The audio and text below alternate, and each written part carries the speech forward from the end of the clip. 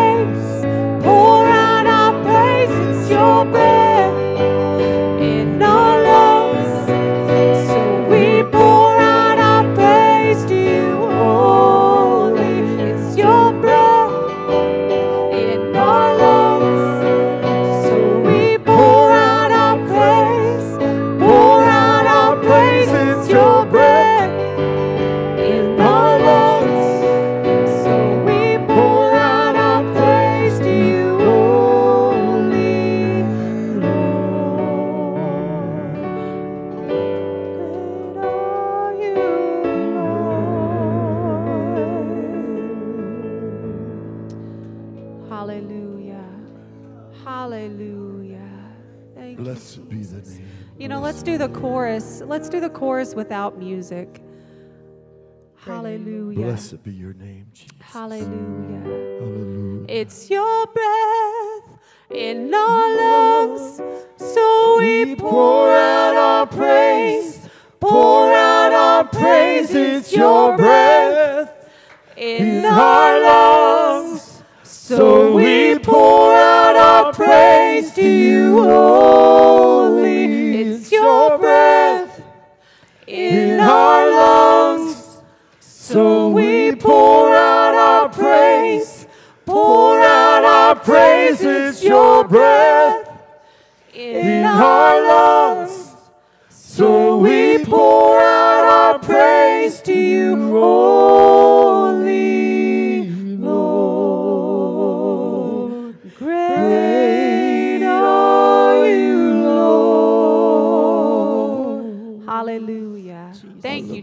Jesus. You are great and greatly to Hallelujah. be praised, Heavenly Father. Glory and honor and power belongs to you. Glory and honor and power. Hallelujah.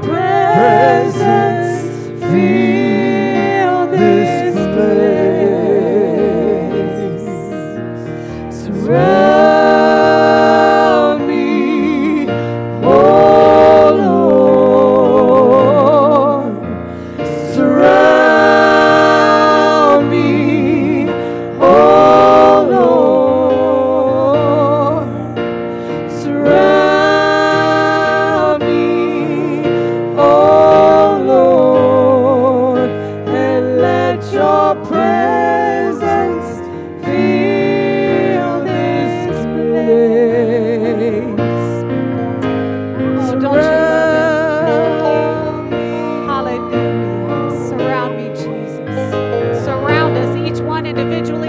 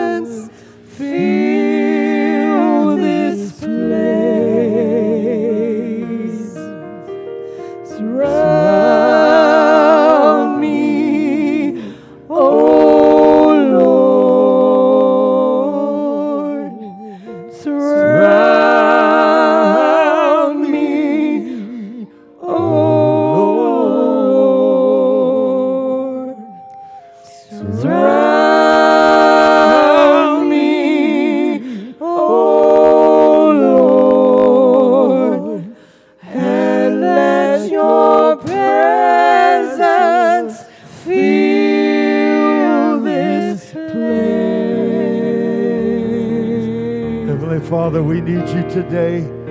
God, we need you to fill this place with your presence and your power. Have your way, Lord, on each and every one of us. Put your hands upon us today, God. We are nothing without you. There's not a song that can be anything without your anointing. There's not a musician that can be anything without your anointing. There's not a message, there's not a sermon, there's not a prayer that can amount to anything without you, O Lord.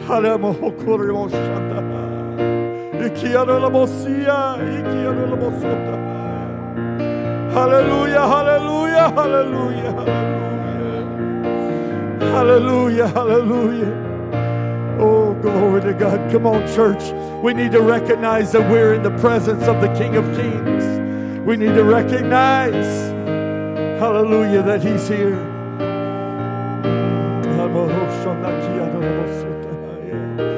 Oh,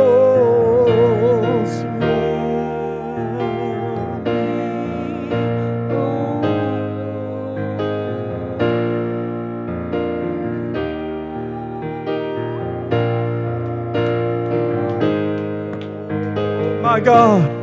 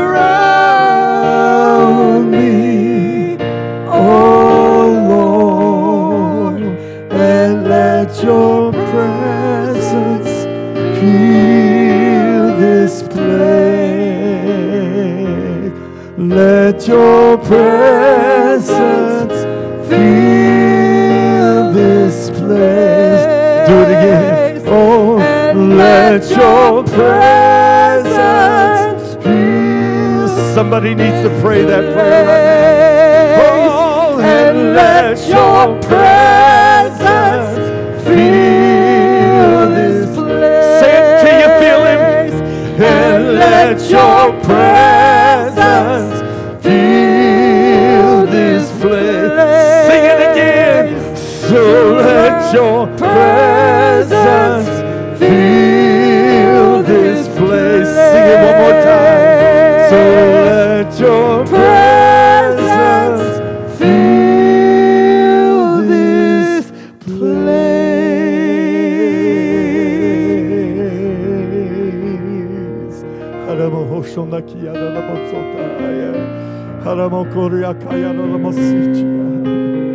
Hallelujah, hallelujah, hallelujah, hallelujah.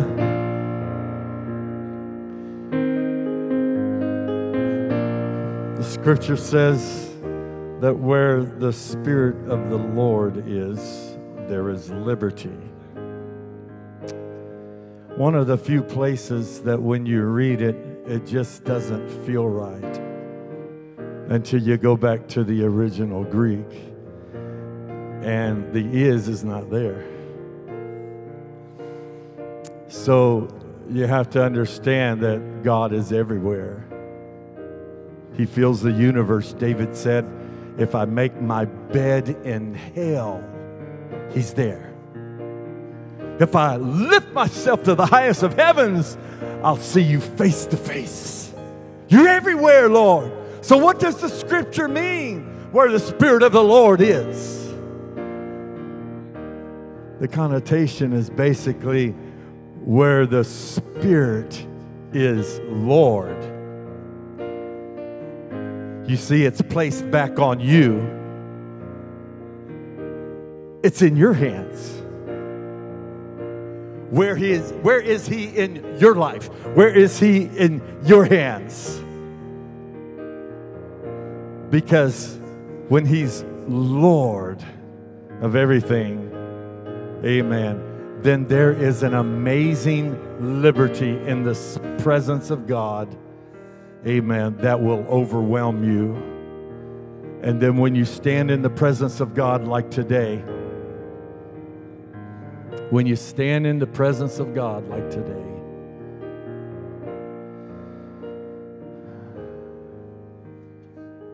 you won't have any problem. You will not have any problem loving Him and magnifying Him. As a matter of fact, it will become a passion for you. It will become something that you long for. From the time you get up on Saturday morning to the time you come into the presence of the Lord, where the presence of the Lord is Lord, then you will find your liberty. Praise God. You love the Lord? Hallelujah. Amen. Shabbat Shalom. Isn't God good? Isn't God good? Hallelujah. Thank you, Lord. Thank you, Lord. Thank you, young people, for worshiping. Thank you, mom and dad, for worshiping. Hallelujah. We set the example. Amen. We set the example. Hallelujah. God is an awesome God. As our First Lady, Sister King, mentioned, uh, we don't have these things on the wall like we normally have. Uh, started out being a light bulb change, and it ended up being a whole system change uh, because that's what we need. And uh, I honor our pastor and his wife for, uh, for desiring to do it right. Amen. I'm excited about the changes. You see, we found several years ago in the political realm, we, you know, they talked about change, but it wasn't good change. So today, I'm talking about a good change. Amen. I'm talking about a change within me. Within me. I can't talk about you, but I can talk about me and the change that needs to happen within me. I'm excited about it. Amen. And hopefully you see it within yourself. Everywhere the Lord went, He says, The kingdom of heaven is at hand. While He was walking on this earth, He would walk up to a situation and He said, The kingdom of heaven is at hand. Then He would reach down to a lame man that has never walked in his life. And He would begin to walk and jump and run and worship. He walked into a situation, he says, The kingdom of heaven is at hand. I need all of you to get out, you know, because you don't believe, you, you don't understand the situation. She's just sleeping. And she raised the daughter that had passed, raised her from the dead. Today, I want to say the kingdom of heaven is at hand. Amen. And where the kingdom of heaven is, there will be no sickness. Think about it. There'll be no pain. You won't, yeah, there, there, you can't exist. They, these things cannot exist in the presence, amen, of our Lord. They can't exist. And I'm desiring that today. I'm desiring that day. Do you ever get the feeling like you're just you're, you're in a place where you don't belong? I'm not talking about the church. I'm talking about life, work, you know, the world. Amen. These things you just there's sometimes you just don't feel like you belong here. Why? Amen. Because I belong. Amen. I have citizenship in a different location. Amen. Hallelujah. I'd like to go before the Lord in prayer, and I did not get to uh, talk to S- Sister Willis today about Trampas, uh, but I, think there still needs to be some prayer in that situation.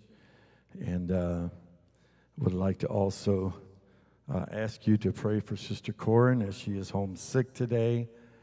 Um, I believe I believe the um, Tuckers are home. I, I don't know how many of them are sick, uh, but it's very, very unusual for uh, Brother Tucker not to be here.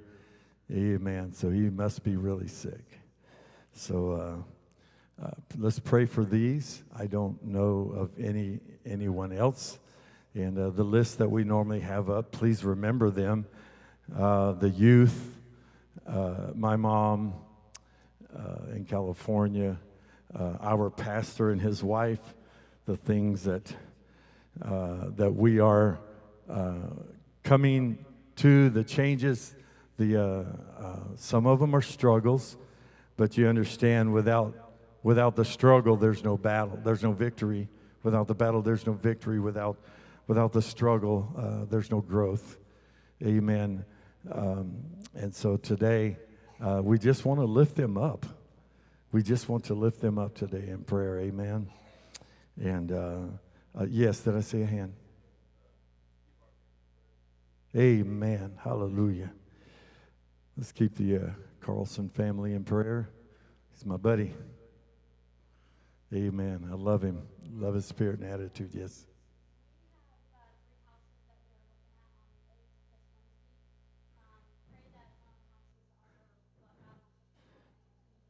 Amen. Let's remember the Prathers. Yes. Thank you. Yes. Yes, amen. Let's remember our country and, and all of the things that is going through. We, as children of God, uh, as the elect, understand that the government is not the answer. Uh, hopefully, you don't have that uh, that idealism in you, but we do want to pray for our country and the situation. Uh, it has turned us back on God, and, uh, and there are consequences to that. And so uh, we, as the church, want to lift up the leadership. I don't care if you like them or not, you need to lift them up and let the Lord, uh, vengeance is mine, saith the Lord. I will repay. So that's, that's not for us to pray for uh, or pray against. It's just like, God, have your way. Yes. Amen. Amen. The Wednesday night Bible study that is, uh, uh, that is uh, going on with Brother, um, yeah, Brother Dan. So uh, let's pray for that. Um, yes, sis. Our sister Amy. Thank you, brother. She said at 8:32 to pray for Shirley. Talk to talk into the mic, sis. Oh, she said to pray for Shirley and her family. Her son just recently committed suicide. Oh my goodness. And she is a believer. Oh and then, my goodness. And then yet today at at um, 8:53 she texted me and said, "Yes, please pray for the young man named Mike. He tried to end his life yesterday. He is my a son's friend and also the son of an old friend of my childhood days. He doesn't know Jesus. Pray without ceasing. Amen. Thank you. Thank you. Someone take that mic, please. You could also pray for my son Michael. We'll just keep him covered in prayer. He needs yes. physical touch. Thank yes. You. Hallelujah. Thank you, uh, Brother Chris. We've been trying to get this going, and, and uh, um, so it's awkward uh, it's awkward when somebody hands you the mic when you're not used to holding a mic. Uh, but it's necessary for people to hear you in the, in the auditorium here, and it's also necessary for the people to hear your prayer request or your praise report online. And so this is something we've been trying to do. So that's what, that's what happened there. And thank you, Brother Chris Oakes, for uh, stepping in and doing that. Uh, we've been trying to do that, but it's just sometimes you got it said before they can get to you. And, uh, and so it's just kind of awkward. So uh, just know that that's what we are trying to do. Praise the Lord. Hallelujah. God bless you.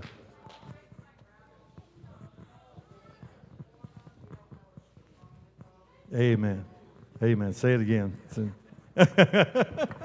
Pray for my grandma. Her leg is swole up. She thought she had a blood clot, but it came back that she doesn't. We don't know what's wrong. So just pray Amen. for my grandma. Yes, yes. Those. The, Rhonda Whitaker, amen. Yes, God bless you. Uh, that's okay. That's okay. Let's do these today.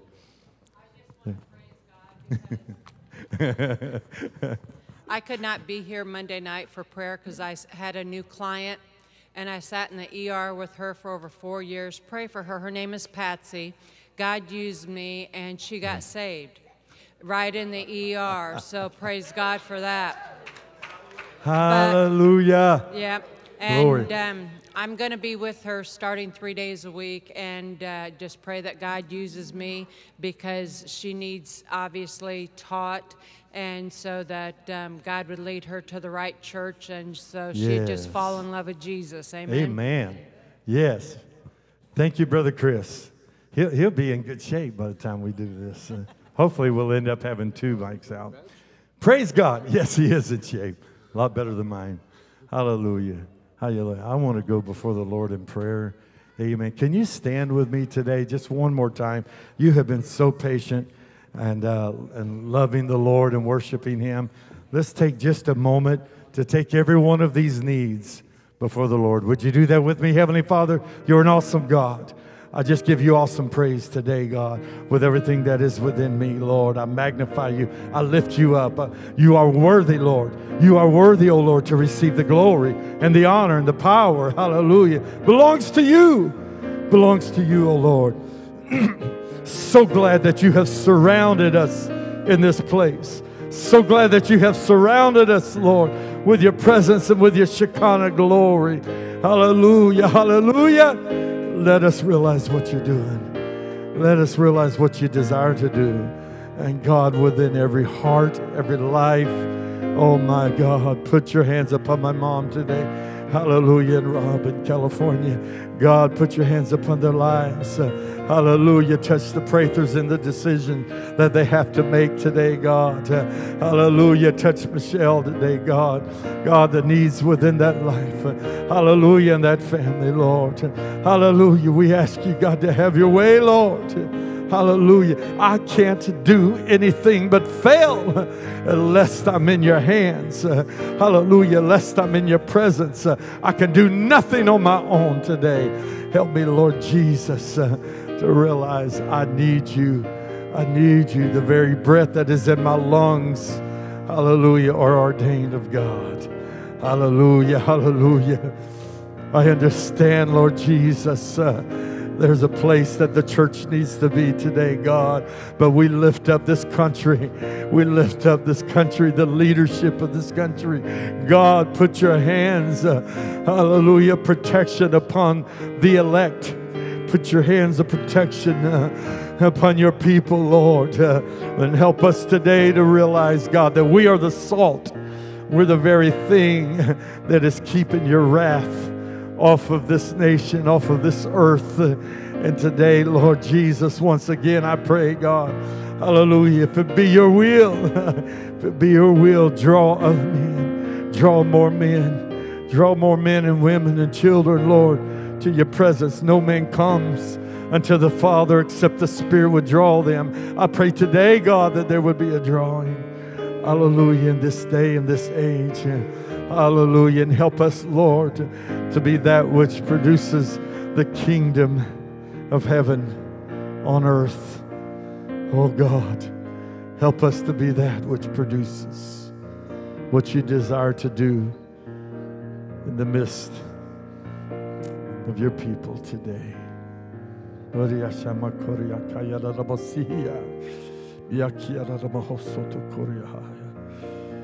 Oh Lord. Oh Lord, in your name, Jesus. In your name, Jesus. My God, my God, my God. Hallelujah. Can you just entertain the presence of the Lord for just a moment? For just a moment. Oh, my God, my God. Let every soul under the sound of my voice today have an unction and an urging. Hallelujah. For the things of the Spirit. Oh God, help us to feel the urgency of the church. Hallelujah.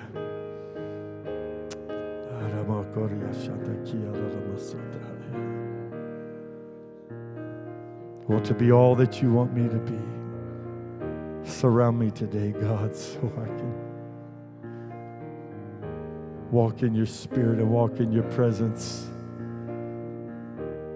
so I don't fulfill the desires uh, of my carnal man, of the natural man, but I fulfill the desires of Almighty God. We have the mind of Christ. We have the mind of Christ. Help us to perpetuate that mind, to grow in grace and knowledge of the Lord Jesus Christ. Hallelujah. Until we come to the stature, the understanding, and the fullness of who you are. The church said, Amen. Amen. Thank you, Jesus. Thank you, Jesus. Thank you, Lord. Hallelujah. Hallelujah.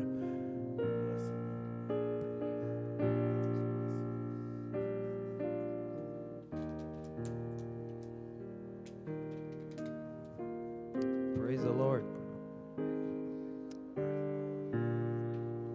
Praise the Most High God. Thank you for praying. Hallelujah. Thank you, Jesus. Hmm. All right. You know, I was looking over here at the children when we were uh, worshiping, and I couldn't help but admire um, their humility and uh, their willingness to, uh, just like Jesus said, become as one of these. Uh, have the faith of a child. And sometimes in our adulthood, we're so hardened. And we, um, we just like to sit like a bump on a log or a stick that will not bend. But these children, notice their behavior. Notice how they prostrated themselves without being led. And they just become and came humbly before the Lord. And I think we could all learn something from that. And we sing, Surround me, O Lord. Surround me, O Lord. Let your presence uh, fill this place. It brings to mind the, the scripture where the prophet Elijah is in the, in the city, and some of you can uh, uh, relate to this. And they were surrounded on all sides by enemies, but yet the enemies were surrounded by the armies of the Lord. And we love singing things like that, and we love believing things like that, and it's the truth. But more often, we don't come in the right position, the correct posture, and posture ourselves before the Lord so He can surround us. Because the Lord, a lot of times, is saying, Yeah, I feel all things and I'm right here, but we're trying to go over here and over here and, and say, Okay, now, Lord, you follow me. No, God's here. You posture yourself in the position where you can be surrounded by Him. Amen. Amen. There's a good, beautiful spirit of the Lord in this place this morning. Hallelujah. Do we have announcements? I want to look here, but there's nothing there. Bring them up.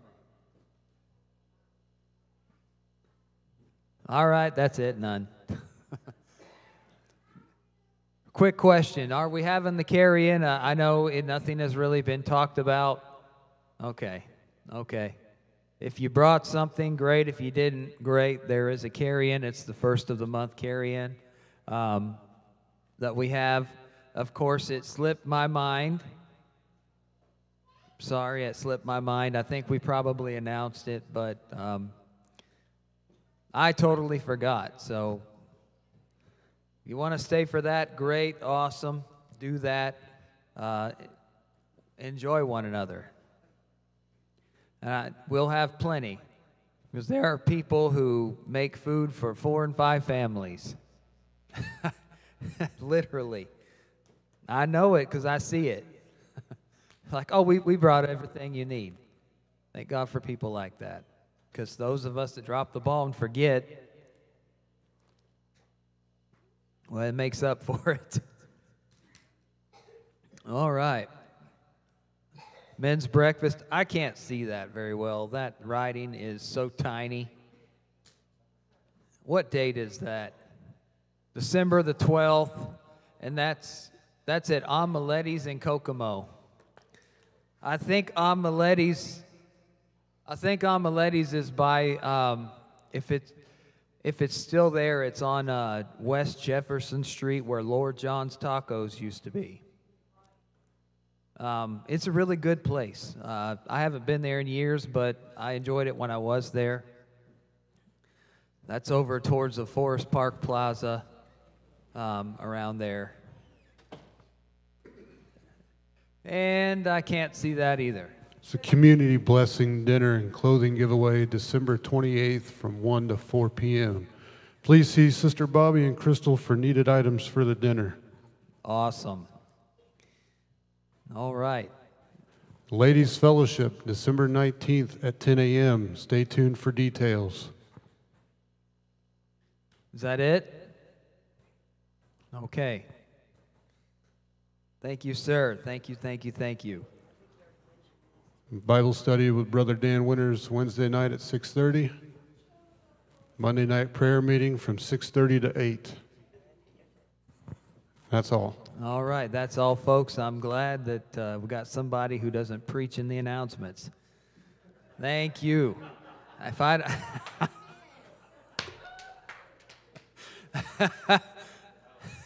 little joke on myself.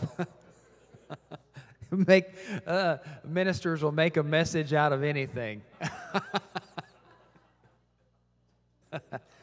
oh my goodness.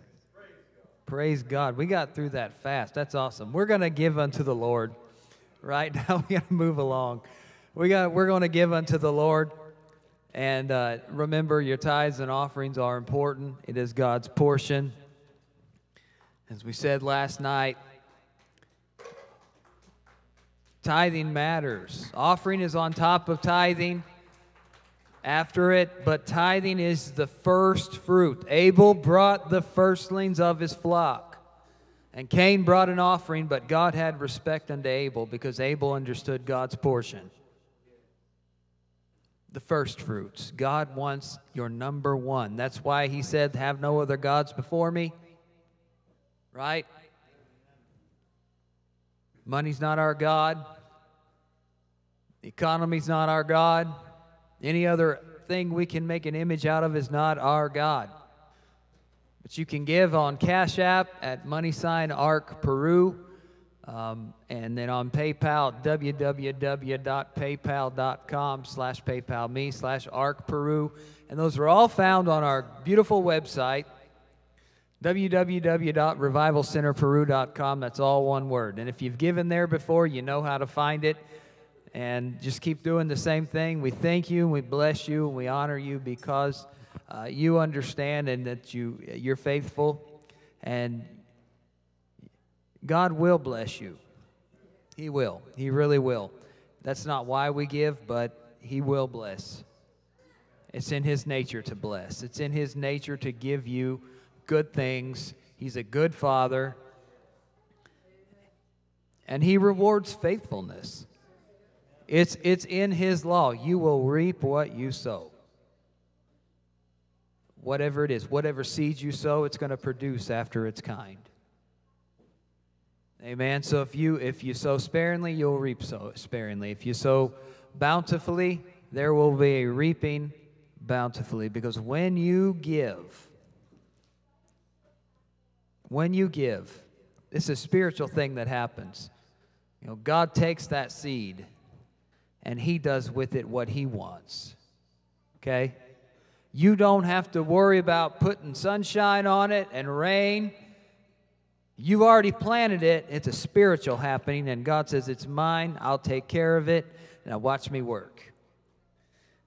So, thank you so much for giving. Father, in the name of Jesus Christ, Yeshua, the Messiah, I just pray a blessing on these people. You said to cast our bread upon the waters, and not many days it will return. And if we do it, it will be pressed down, shaken together, and running over. And men will give into our bosoms. And you will open up the windows of heaven. And all manner of blessings and fruit and favor will come because we were faithful with that which you have given us. So, in the name of Jesus Christ, we just thank you that we are able to give, that we have been created to give as you give. And we just trust you with this seed in the name of Jesus Christ. Amen. Amen. Yeshua HaMashiach. Yahweh's salvation, or Yahweh has become salvation, and the Messiah, or the anointed one, or the Christ. Amen. Hallelujah. Well, we are going to, and I'd like to ask, I'd like to ask uh, Brother Corn and uh, Brother McClay to help me out here. Um, we're going to we're going to do something that when you do this, this is one of the most unifying, powerful, soul cleansing, heart cleansing, body cleansing things you could ever do.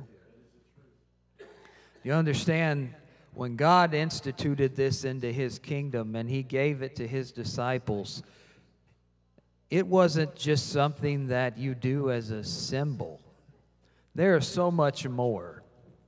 And when I understood what exactly takes place when we partake of the, the bread and the wine, the blood and the, the, the body and the blood of Jesus Christ, it changed my, my thinking. It changed everything uh, about me. In, I'm still learning. And I always wondered and, and tradition, traditionally, I saw a lot of churches do this once a year. But the scripture says, as oft as you do it. It doesn't say you have to do it once a year. It says, as oft as you do it. I believe when the, the apostles, the disciples, the people of God came together to break bread, to have prayer, to fellowship, they did this. They took communion. It's the communion of the body of Christ. And the scripture says that on the night that Jesus was uh, to be taken, he gave thanks. I want you, I want one of you to hold up one of these and the other to hold up the other one. the whole thing.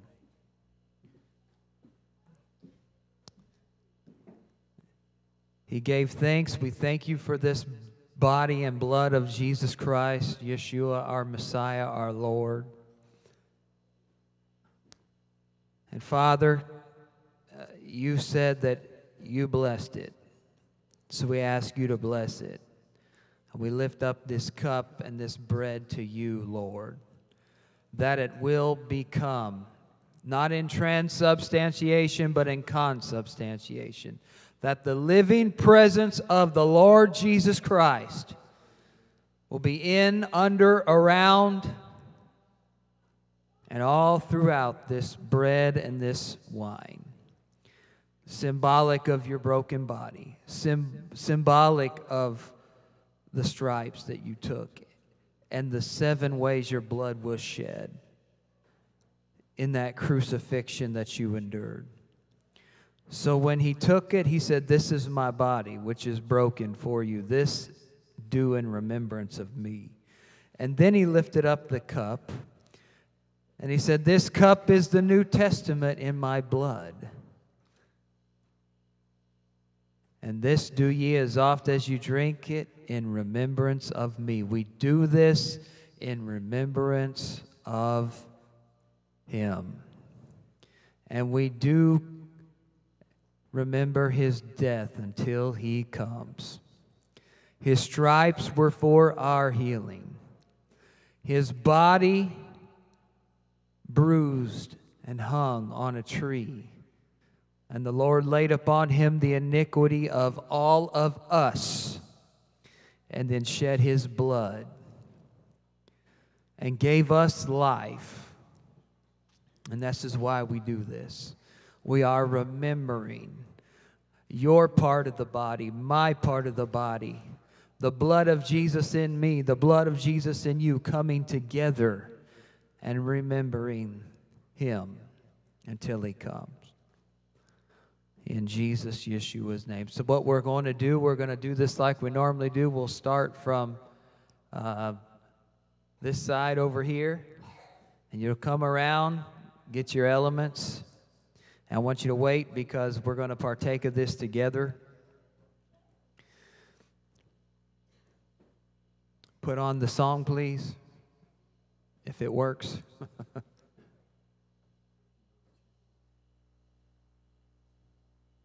oh, that's right. I got to explain this. Okay. These nifty, thank you, Sister Marjorie.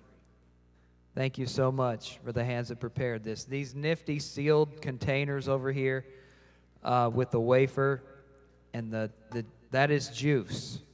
It's not alcohol. It's not wine. The wafer's on top. You pull out the little uh, plastic cover, and you can get that. And then, the, of course, pull off the other cover, and then the juice is underneath. Those came, it's all juice.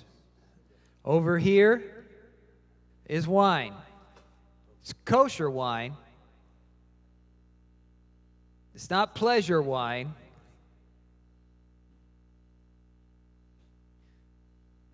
But it is nevertheless the fruit of the vine. And uh, so you have options. This is wine. But everything in these little sealed cups with the sealed wafer, that is that is juice. And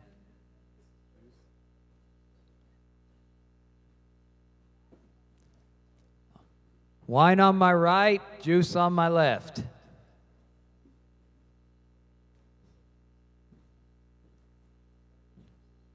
You have options. It's already been presented to the Lord. And We had a mirror.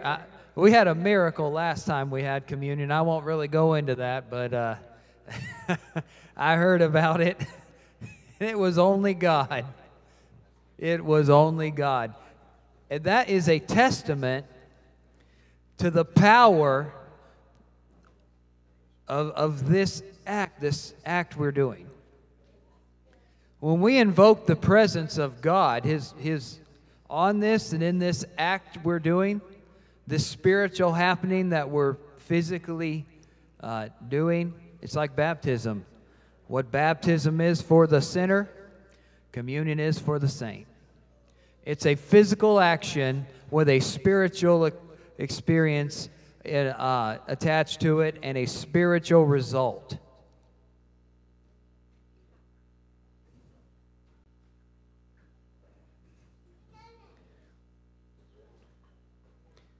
So remember, on my right, wine. On my left, juice.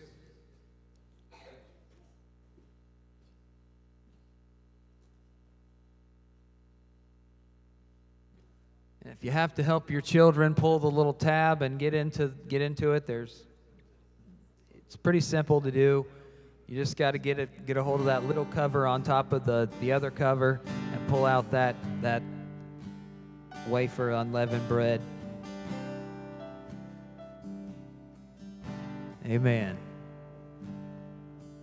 The cup of Christ. Thank you, Jesus. I raise in all each drop of life he dearly bought.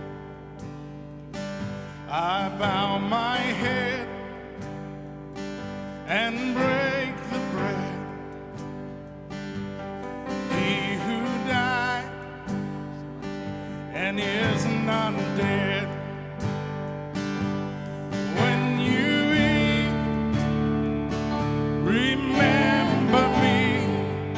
do this, I want you to keep in mind that you are fellowshipping with the blood and the body of the Lord Jesus Christ. This is the communion of the saints. He didn't give this to the world, He gave it to us. He gave it to us. Amen. There's certain things that are sacred and reserved unto God's people, and this is one of them. So when you do this, remember that He took your sins, that He took stripes, that He shed His blood for you, that He bought you back from bondage, from uh, death. He did what you couldn't have done. I want you to take this this bread and crush it in between your fingers. The scripture says, Not a bone of him was broken, but he was badly bruised.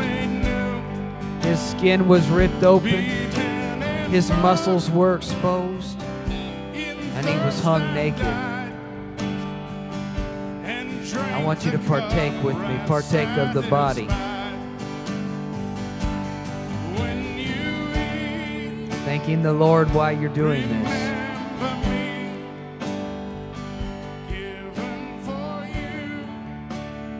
And I want you to hold your, your wine up, the blood. It's not the literal, actual blood, but the water you go down in baptism is not literally the water of heaven. When the name is applied, that's when it happens. So, Lord, we thank you for this blood, this blood of the new covenant. Thank you, Father. Thank you, Father, for making us worthy to receive of your cup.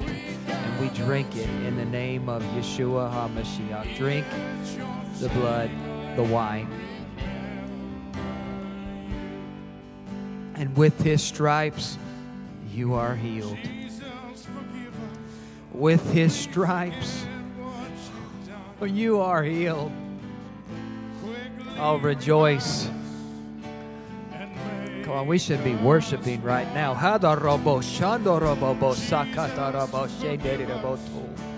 Oh, thank you, Yahweh. Thank you, Yahweh. Thank you, Yahweh.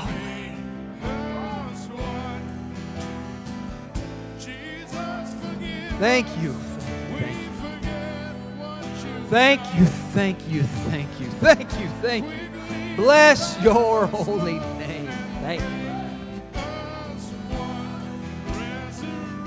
Hallelujah. Thank you. Thank you. Thank you. Thank you, thank you, thank you, thank you. Hallelujah. Hallelujah. Yes.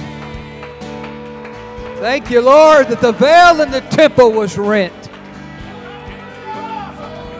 You, Lord, that you broke down the middle wall of partition between us, slaying the enmity and thereby making peace. Thank you, Father, for uniting us with the tree of life. Thank you for being the bridge between heaven and earth. In the name of Yeshua HaMashiach. Thank you, Lord. Hadarabo shamba sharaba shada. Now we speak the blood against deep vein thrombosis and any effects of COVID 19 or Omicron or any other variant that the devilish people of this world can come up with. We speak the blood of Jesus Christ against it, and we overcome by the blood of the Lamb and by the word of our testimony. Hallelujah! Any flu, any sickness, any disease, any sinus infections, leave right now in the name of Jesus Christ because of the blood that was shed on Calvary's tree.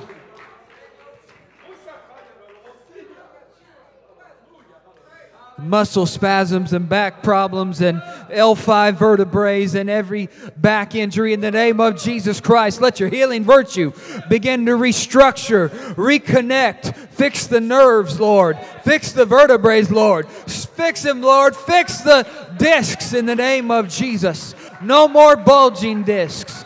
No more liver failure. No more kidney infections.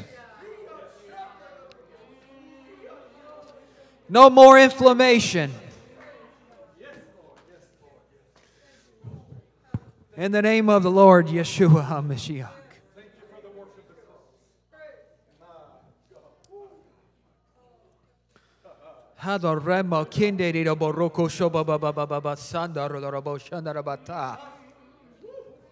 Drive out depression, oppression, suppression. In the name of Jesus Christ.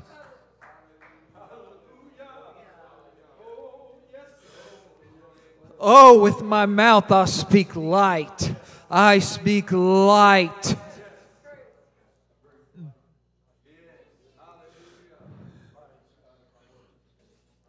The child suffering from anxiety. You are her and his peace. Amen. And we declare peace. And we loose the captives free because of what you did on Calvary. The captives have to go free. The dead have to live. Those that cannot breathe have to breathe. The blind have to see. In Jesus' name. Hallelujah. Hallelujah. Hallelujah. Oh, with thanksgiving and praise, I'll honor you my whole life through all the days of my life. Thank you, Lord. You feel that in here? I didn't just hype the atmosphere. No, He's here. Thank you, Lord. One of the most sacred things you could ever do in the kingdom of God.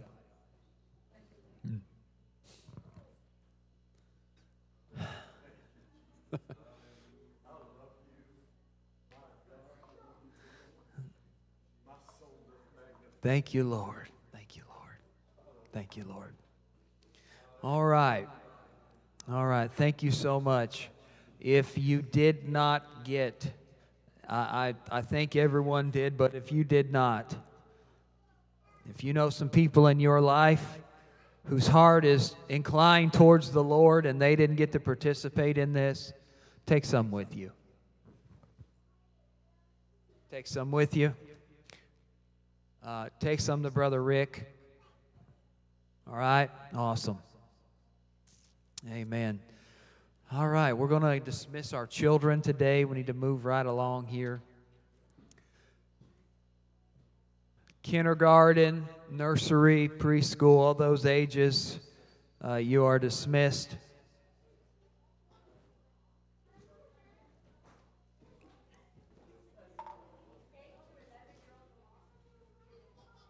And that's right, since Sister Anna is currently feeling ill, currently, we, we proclaim her healing. We proclaim she's whole. Brother Tucker's whole. Oh, it's right there. Thank you, sir. Thank you. The kids are whole. Um, their class is going to be with Sister Bobby as well. And then we have a preteen teacher as well. And then the youth are also dismissed. 15 years of age and older. Thank you, Lord.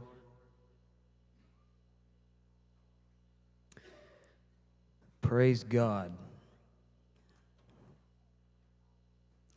Well, Lord willing, I, I won't preach long today. Lord willing. I'll just say what needs to be said and get out of the way.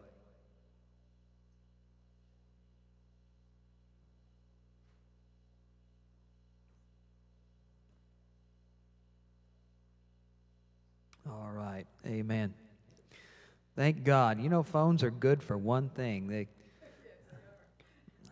I've got a couple Bible apps on my phone, and, and, and I can have something pulled up, and I can have a note that I need to look at, and it can be right there. Well, I have a notepad right here, and I have a Bible right here. So they're good for one thing, anyway. This thing is annoying, though. They, th- this thing is literally listening to my every word. I was, I was, I'm serious. I didn't even push the button, and I, am I'm, I'm going down the road and I'm listening to an audio yesterday in the truck um, in my job, and I'm listening to an audio of a, of a minister um, who had an, an encounter with the Lord, and uh, we also got the book. It came with the book. It was a three CD uh, set off of uh, Sid Roth. Um, Ivan Tuttle's his name. And uh, this thing is saying, I did not understand that. I did not understand that. And, and I'm watching. I was, I was driving, but okay, so the phone was in front of me. I wasn't reading the phone or anything, but I'm, I'm, I'm, I'm listening to this in my earpiece since I have to have an earpiece in. It's a Bluetooth earpiece and it and it's it's recording what the CD is saying into the search box. Like, what are you doing? I didn't ask you to do that. Well, these things are listening. I think they're they're they're keeping a database of everything I say so they can try to use it toward me later. I'm really surprised I haven't been put in Facebook jail for some of the things I've said on Facebook um, regarding the wicked rulers of this world. And I mean, my goodness. They, they make uh, hate speech out of simple pictures of a flower coming through a crack in the sidewalk. and say this goes against our policy and standards. These things are, are crazy, but they're good for one thing, and they still allow us to have a Bible on there. Uh, and luckily, I got a I got a strong concordance on my Bible too, so that helps out. If you have your Bible, say amen. All right. Genesis, the first chapter. Genesis, the first chapter. And we're also going to go to John 20 and 22. But Genesis, the first chapter, verses 1 through 3. It's familiar. You know this. You've heard this. In the beginning, God created the heaven and the earth, and the earth was without form, and it became void. In some translations, if you were to read that in the original, it became void. It was uh, not that this was a first creation of the earth, because the earth had been around. It's a recreation. The earth had become uh, a formless void. It was a mess, it was chaos, and darkness was upon the face of the deep. And the Spirit of God moved upon the face of the waters, and God said, Let there be light, and there was light. What did God do? He said, Let there be light. He did something, and I'm going, I'm going to get to, to that, and I'll explain where I'm going with that into the chaotic darkness, and there was light. And it is my belief that if you, if you did a further reading of that passage, that the light that he created, because the scripture later on says that he created all things through Jesus Christ, they were for his pleasure, his purpose. So all of creation was created by Jesus Christ and through Jesus Christ. So when God, Yahweh, spoke in the very beginning into that, cha- that chaotic cauldron of water and everything, all the elements, he said, Let there be the Word, let there be light. In the beginning was the Word. The Word was with God, the Word was God. So I believe when he said, Let there be light, he said, Let the word go forth into the chaotic cauldron of, of, of all that mess, and light was. And all it took was him to exhale and speak the word, the light. And there was creation. John 20 and 22.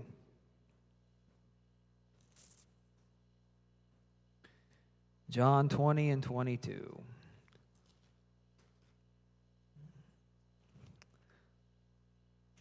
I'm nearsighted, so that is a little blurry back there. And when he had said this, he breathed on them. It says unto them, Receive ye the Holy Ghost. Well, they didn't get filled with the Holy Ghost or baptized with the Holy Ghost until uh, Acts chapter 2. And, and this, of course, was after his uh, crucifixion as well. And, and they hadn't been baptized with the promise from on high. But notice he breathed on them and said, Receive you the Holy Ghost. And I want to preach on this subject today. Hopefully, it's not for a long, long, long, long, long, extra long time. Because y'all know I can be long winded. I can make reading the scripture 15, 20 minutes easy. And, like, how do I do that? I, I don't get it. I have to work on it. I want to preach on this subject. All that God has to do is breathe. All that God has to do is breathe, and I really feel like this message is for a specific person. And if you're looking uh, at us, if you're watching online, if you're here, I want to let you know all God has to do in your life is breathe. So, Father, have your way. Let me exhale the word of God. Let me speak light into some chaotic darknesses. Let me speak light into some confusion.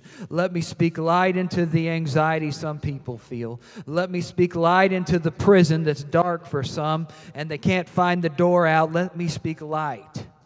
Let the oracles of God proceed forth out of my mouth. Let my tongue be the pen of a ready writer. Make my lips lips of clay and touch your people today. Do more than that, Lord. Transform every cell of their DNA.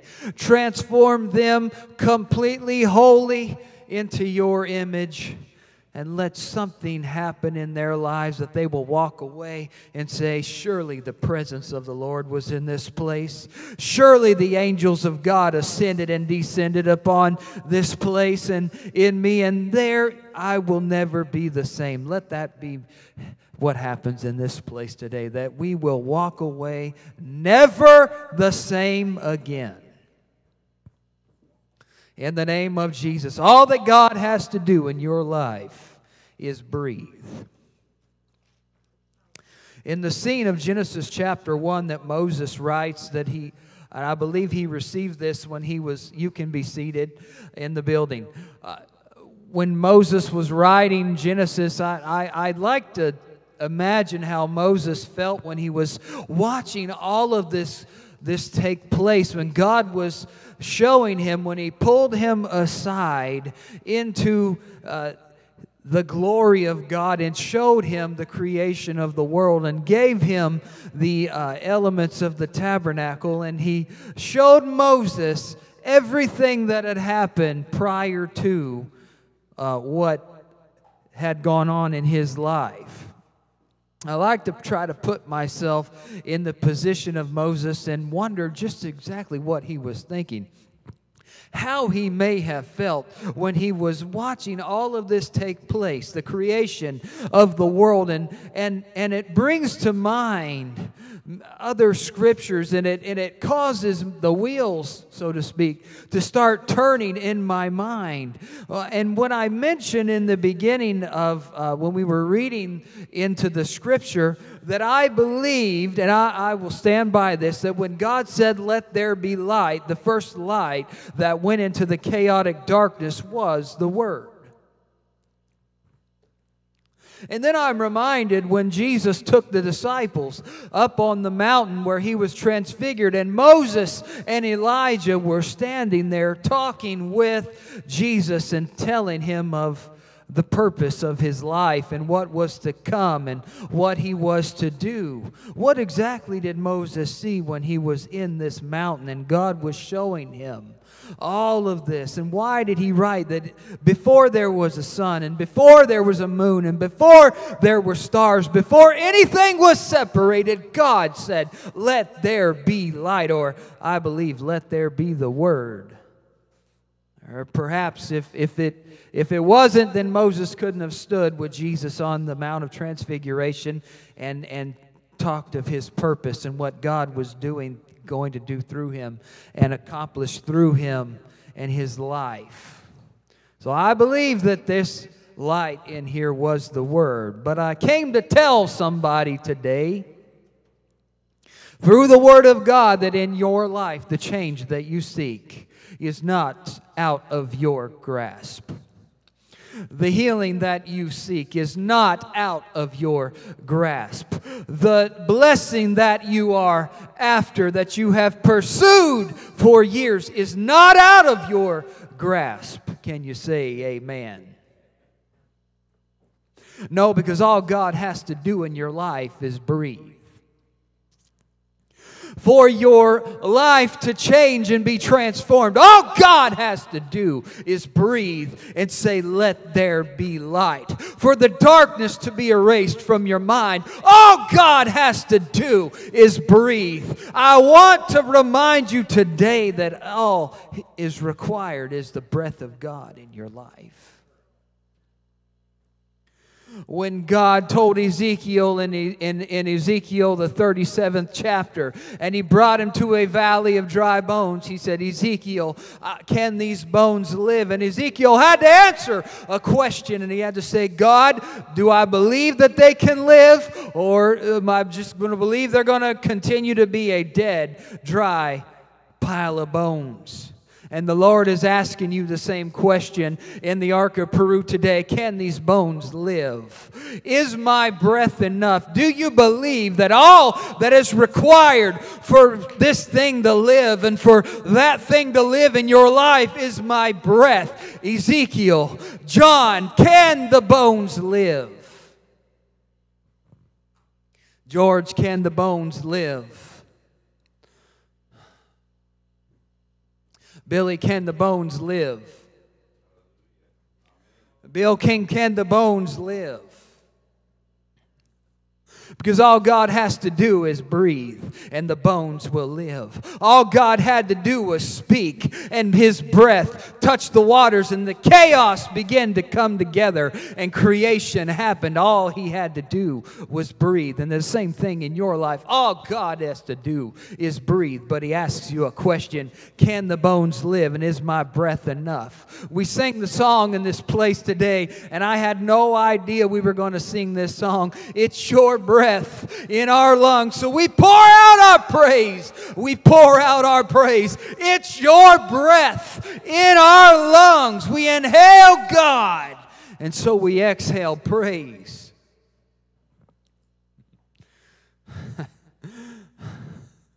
God took in all that chaos and He exhaled life.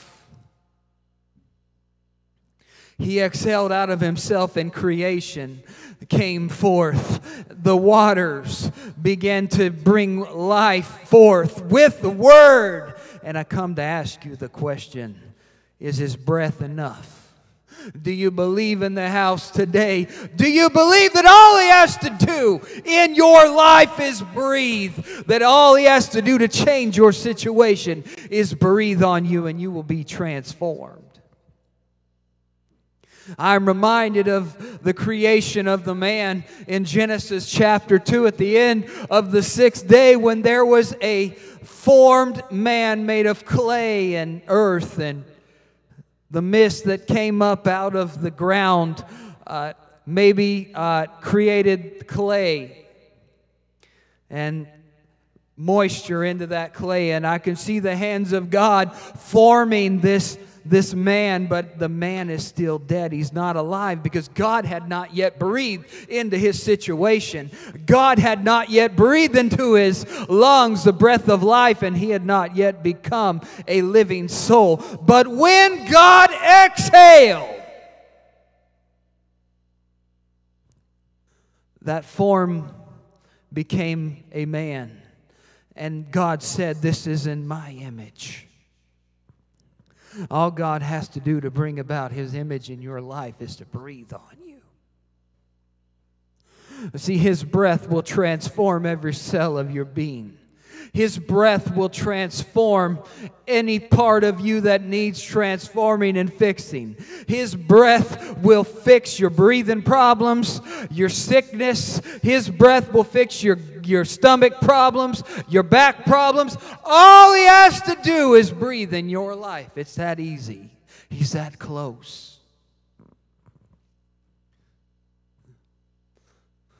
But the question is are you going to inhale when He breathes? When God breathes, something is to take place, but are you going to inhale? When we were singing in this place, God was breathing on us. You couldn't sing His praises unless He first breathed into you and put it in you that you could exhale His praises. You can only exhale after you've inhaled. That's why some of us don't have a life of praise and a life of worship and a life of adoration and thankfulness unto God because we're not inhaling enough. So, therefore, since we're not inhaling enough, we're not exhaling enough. And the cycle of breathing, which is autonomous, is not, is not happening as it should because we don't inhale and therefore we don't exhale. Before you can exhale God, you got to inhale God.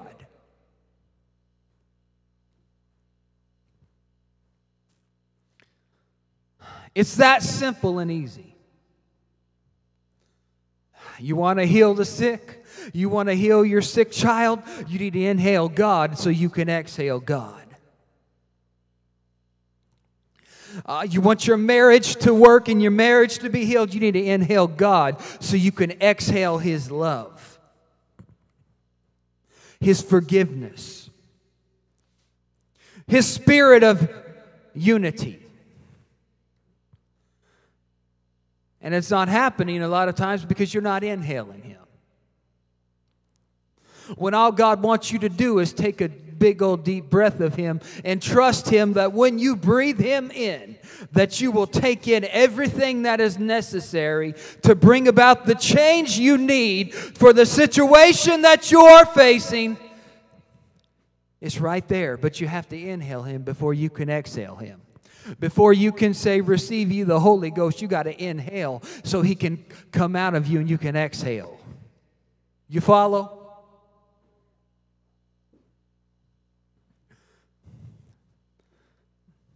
It's amazing how the natural functions of life reflect what happens in the spirit. Because what was spirit became life. What was God's breath became light and spoke and separated light from darkness. It's that easy. But before light could be put into darkness, God had to first exhale. He had to draw from his self. That's what he did. He drew from himself. And when he exhaled out of himself, then there was light. There was the perfect representation, the perfect solution, the perfect ingredients all in one package that the earth needed to bring forth life. That's what God exhaled.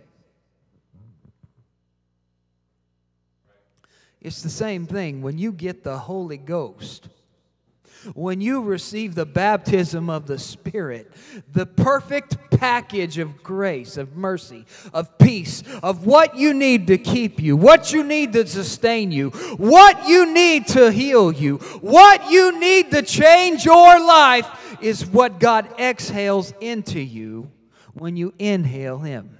And then what comes out of you is God. because you breathe, what you breathe in comes out. It's a complete cycle. What is the first reaction after you take a breath and inhale? It's to exhale. and why are some of us feeling tired? We're not inhaling enough of God so we can exhale and bring life out of what we inhale.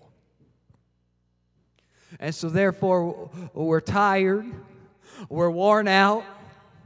Not specifically speaking of myself, but people are tired, they're worn out because they're not inhaling enough, and therefore, what they're exhaling is not God, it's of themselves.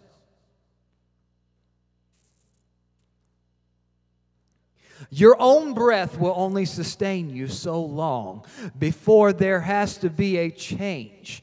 The buildup of carbon dioxide in your blood has to be exhaled, and you have to take in fresh oxygen in order to complete the cycle and to breathe one more breath to stay alive.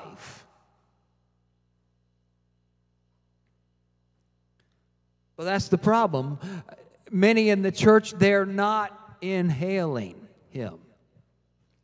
They don't praise Him when it's praise and worship time because they're not inhaling Him. They don't pray to Him because they're not inhaling Him. They don't heal the sick. They sit around and they feel not used. They feel like their purpose is not being met because they're not inhaling God. And therefore, because they're not inhaling God, they're not exhaling God.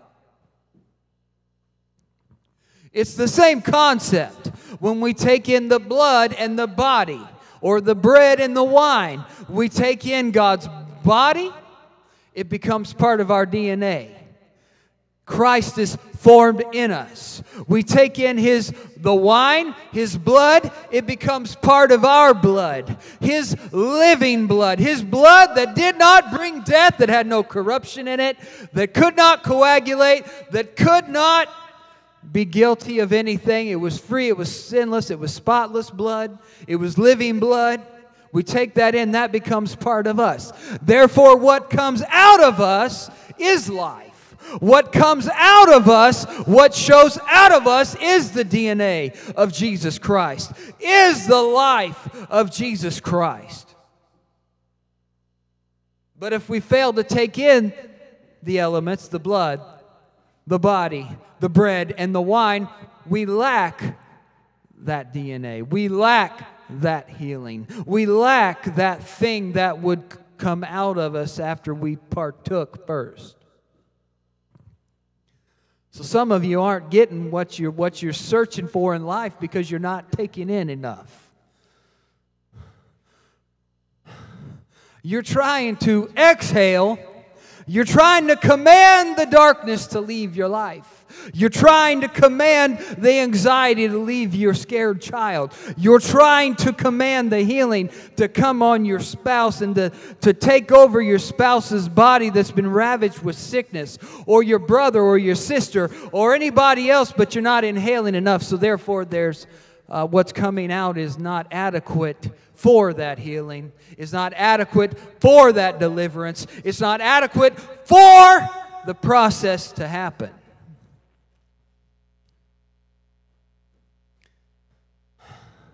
But if you would just breathe, if you would just inhale God, all He has to do in your life, one breath can change everything. One breath of God breathed, and the disciples and the 120 that were in the upper room that filtered out into the temple, one breath of God changed their life forever. One breath of God breathed down and brought the winds into those bones and began to form out of bones a whole complete human army. In Ezekiel 37, one breath of God did that. One breath of God can change and is waiting to change your situation and change the, the circumstances in your life, but you got to inhale Him when He breathes. And the problem is, we're not inhaling Him like He wants us to inhale Him. So, therefore, we're not exhaling healing. We're not exhaling deliverance. We're not exhaling liberty because we don't inhale Him enough. When the formula is so simple, all we have to do is let Him breathe on us. Breathe on us. There was a song that used to be sung that I used to love. It said, Breathe on me. Breathe on me. Holy Ghost power, breathe on me. Yesterday's gone, but today, right now, right now, December at the ARC of Peru, I need you to breathe on me. Because I do believe the bones can live. I do believe this they can become a mighty army. I do believe the children can be set free from anxiety and fear and doubt. I do believe that lives can be changed, that the liberty that is to the prisoner can be realized. I do believe. Therefore, all we need is one breath of God to blow on us and change us completely one breath of God, one exhale of God is all it took to take those chaotic elements that made up the earth and bring life. And one breath of God is all you need in your life for everything to change and for you to change and for you to never be the same again and for your family to never be the same again. It's just one breath of God. And all He has to do is breathe on you. All you have to let Him do is breathe into you, and you will exhale automatically the praise and the glory of God. All you have to do is let Him breathe into you, and your DNA can be changed. It's that simple.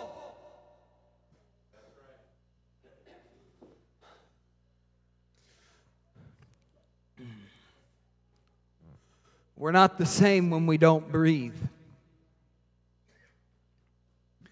The sickness that has been ravaging the world, and to some degree more in others than, uh, to more of a degree in some than others, affects the very breath that uh, a person is able to, to, to take in and to inhale and to exhale. It actually goes deeper than that. It goes into the veins and the arteries, and it creates clots to where life giving oxygen cannot be circulated throughout the body. Therefore, the lungs don't work the way they're supposed to do. Uh, they're supposed to. The systems of the body don't work like they're supposed to, and a person slowly dies. And this is a tool of the enemy. This is a devil. It's a creation of man.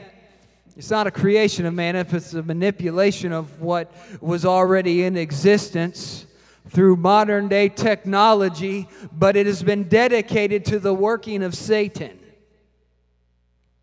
Because the thief comes to steal and to kill and destroy. He comes to steal your life. He comes to steal your possessions. He comes to destroy your life, steal your possessions, destroy everything that God has placed in your life to bless you and to bless others. The structures that He has placed in your life, He comes to take all those things. So this, this sickness is, is a devil and it affects the way people breathe. It affects the amount of oxygen the blood can transport throughout the body. It's no wonder if all God has to do is breathe, then life takes place. Exhale and life can take place. Exhale in you and breath can come into your body. It's no wonder that Satan would choose a very thing that robs people of that life giving breath and that keeps the blood from flowing because there is no life without the blood. His life is carried in His blood. His life is carried in His blood, and from that living blood, He breathes into our lives and gives us what we need to live. It's no wonder that this tool of Satan would rob the very breath that people experience in this earth. But thanks be to God that the only breath that I breathe does not come from an earthly source. Thanks be to God that the breath that I breathe is a breath from heaven. Thanks be to God he gives me the victory and He allows me to inhale Him. And when the devil and when his adversaries say, You're going to be sick, no, no, I have life. You're not going to be able to breathe. We're going to take away your ability to speak. No, I have life. He gave me my language, He gave me my breath, He gave me my body. You can't take away what God has already given me.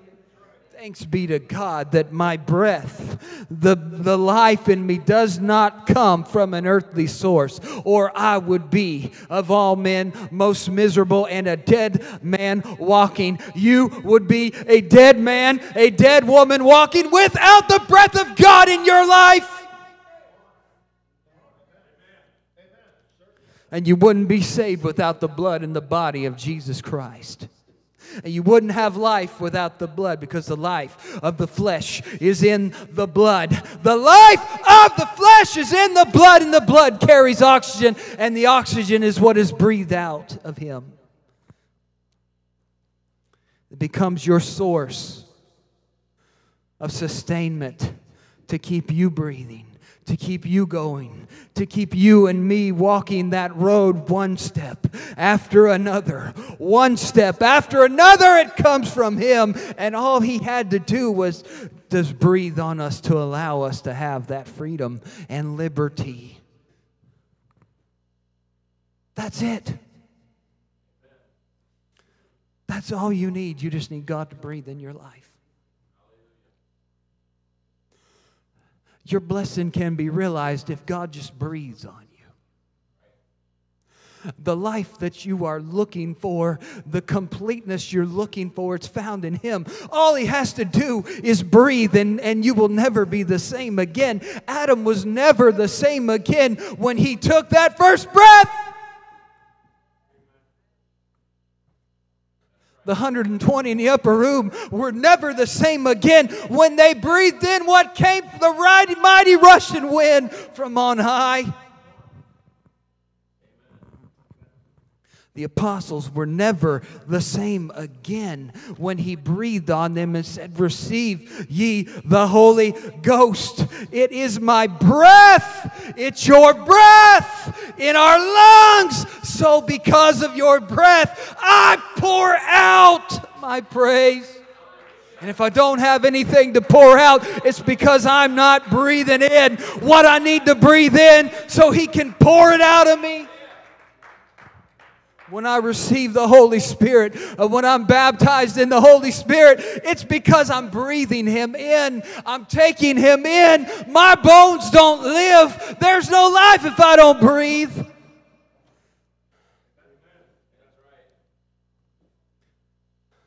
You want your church to, to change, start breathing Him in more. Quit trying to live your life on your own and think you can sustain yourself because you cannot sustain yourself. You do not have the necessary elements in yourself alone to sustain life.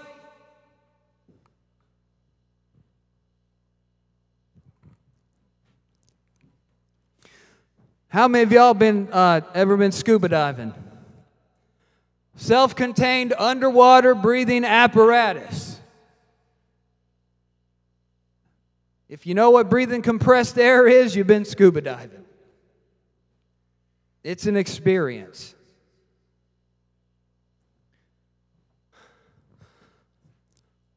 But there's only so much available in that tank in that breathing apparatus that will sustain you with the mixture of other gases for you to be in that environment that you were not created to live in. See, he, he created the waters for the fish and the whales and frogs. He didn't create the waters for the human. We have to breathe air. So if you are going to go into that environment, you have to have a self contained underwater breathing apparatus on or have access to the oxygen in the air. And if you have a scuba tank on, there's only so much air in that scuba tank. And if you're not careful, you don't pay attention, you run out of air, the toxic gases build up in your body, and therefore you will suffocate and die underwater.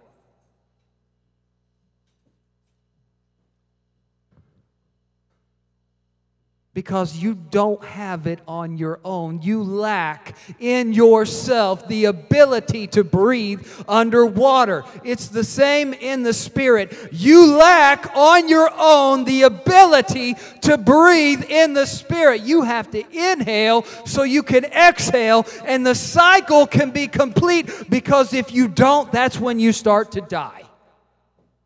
Hold your breath for too long. Hold your breath and do not breathe, and you'll notice some things start to happen. Panic sets in. And some people, they can control their panic. But you'll eventually pass out because you're not getting the oxygen that is necessary to complete the systems and the functions in your body that are required for you to live. It's the same way in the spirit. And many are not accessing the things that God has given them in the Spirit because they're not inhaling properly and breathing cycle is not being completed.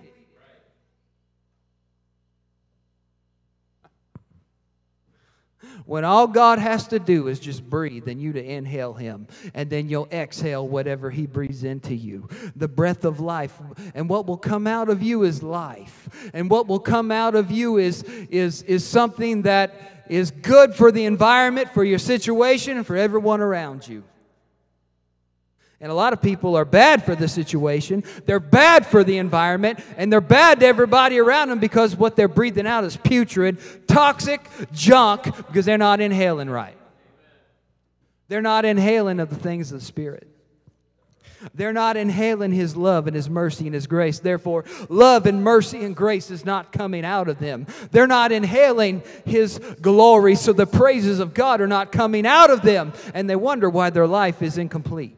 And they wonder why I go to church, why my life is incomplete, because I'm not breathing out what I should be, because I'm not taking in what I should be. You will only exhale what you inhale. And you will only become what you behold.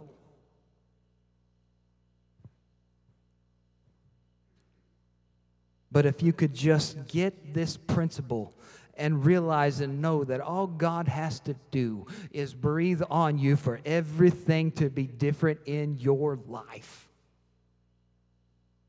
You can walk away different from this place and you will never be the same again. But that's all you got to do. You got to inhale when he's, his spirit is flowing in this place. Last week we talked about and the things we saw happening in the, in the spirit when worship was going forth. That's when Yolana got the Holy Ghost. Praise God, he's filling the children with the Holy Ghost. And began to see the crosswinds of the Spirit blowing and they were covering from, from the front to the back in lines. They were like currents of wind. And then they were coming from this direction too, and they were meeting together and forming little tornadoes. And on those little tornadoes were like fire. But not everybody was getting it because not everybody was breathing in. Not everybody was opening up. We talked about the well being clogged up. Not everyone's well was free flowing, and God couldn't pull that water up out of Himself because they weren't breathing it in. They weren't breathing in. The current of God was flowing. The tornado, the whirlwind of God was churning. But people weren't being changed because they were not participating with God in it. They weren't breathing in. They, they weren't allowing water to come out of their well. So therefore, they walked away unchanged, unmoved. I'm just another church service.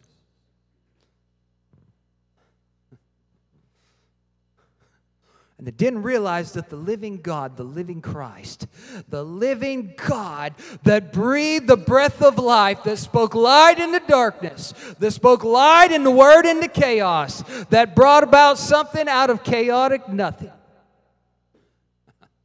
was breathing and blowing over them and wanting to catch them up and wanting to take out of the reservoir inside of them that water so we could rain it back down. It's a cycle. Unless God comes in, you don't have anything to give out. Unless God pours in, you will not have rain to pour out.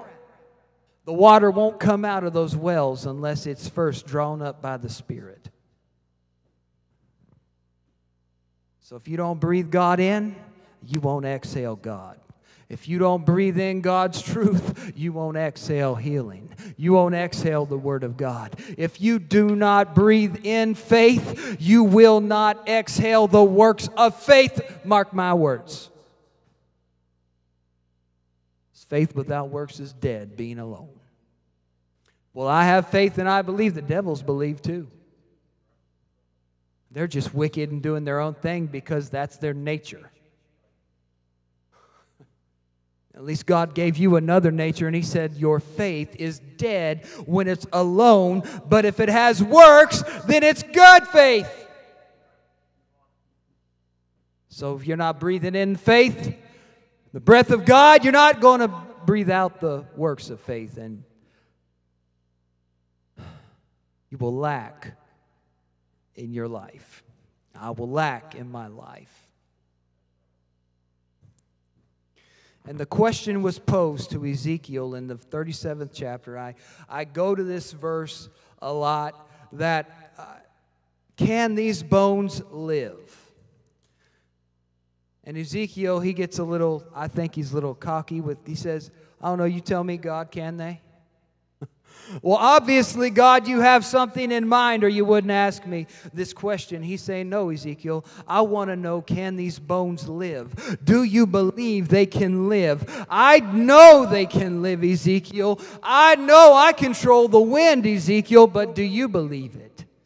So God is asking you the question, do you believe when you inhale, he's going to you're going to exhale what you what God wanted out of your life all along? So he, so he says to Ezekiel in, in the ninth verse, prophesy unto the wind. Prophesy, Son of Man, and say to the wind, Thus says the Lord God, Come from the four winds, O breath and breathe upon these slain that they may live. All it took for the slain to live was for the man of God to prophesy and say, Let there, just like God, let there be light. Let there be light. And the light was separating from the darkness. Right then and there, it happened. All it took was for God to breathe when the man of God prophesied and said, These bones can live. And to come from the four winds, bring the miracles, bring the healing, bring the law of God, bring the judgments of God, bring the peace of God. Bring it, Lord! Come from the four winds and breathe upon these slain that they may live. That's all it took was one breath of God controlling the winds, and this mighty army was filled with life and bones became humans, and bones became an army. And they stood up, and God said, This is the whole house of Israel. These are the ones who are princes, who have power with God, and that's all it took was the breath of God and the man of God proclaiming the breath of God over those people. And when he did that, Verse 10 So I prophesied as he commanded me, and breath came into them. It wasn't what I wanted to say. no, because when you breathe in, you inhale God. You don't breathe out and exhale what you want to say or what you think you should say. What you exhale is completely divine. It's what He commanded him to say. And they lived and stood up on their feet, an exceeding great army. I like this in verse 11. These bones are now W H O L E, whole. And the answer to the wholeness that many of you lack is, is in breathing in God and letting Him breathe in your life. And then you will exhale what He has breathed into you. And it will be everything that you need, everything that your family needs, everything that needs to happen. It will come out. And you will become that whole person that you were created to be.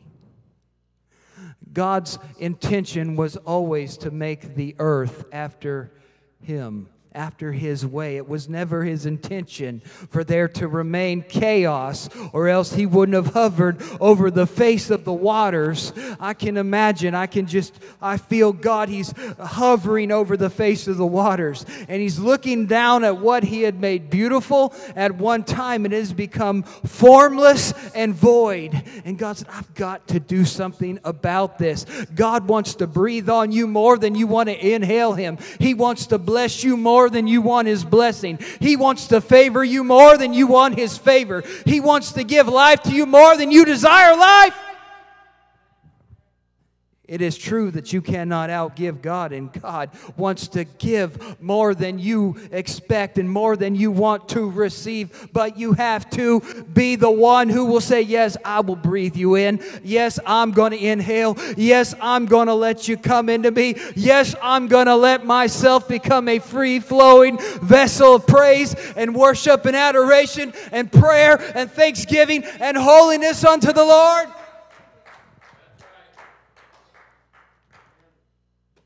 And all it takes is one breath. And then in verse 12, now the exceeding great army stood up. Bones have become humans. Bones have been infused with supernatural life. This is clearly a miracle in, in time. It's, it's, you can't even describe what what is happening. I, I can imagine being Ezekiel.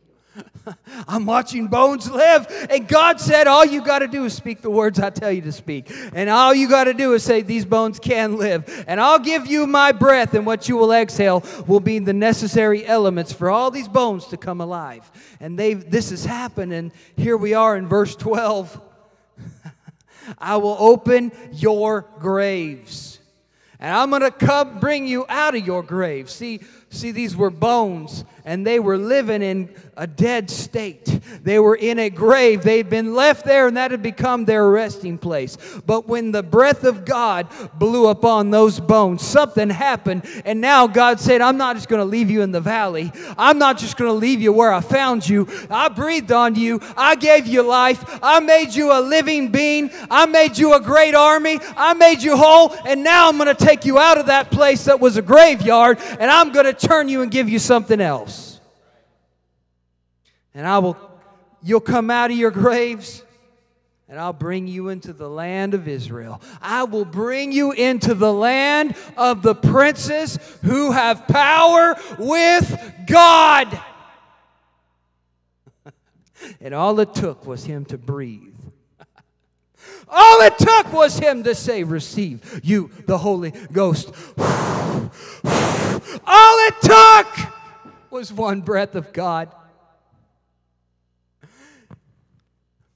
that touched the elements in the earth and caused life to spring forth out of death. Turned graves into a land where there was princes who had power with God. Turned bones into armies. Just with one breath, one blast. And the same thing can happen in your life in this place today. The same thing can happen in your dry womb today. The same thing can happen in this situation economically in your life today, in your finances. Finances aren't everything, but finances reflect some things in the spirit. The same thing can happen in your body ravaged by sickness today. The same thing can happen in your family today.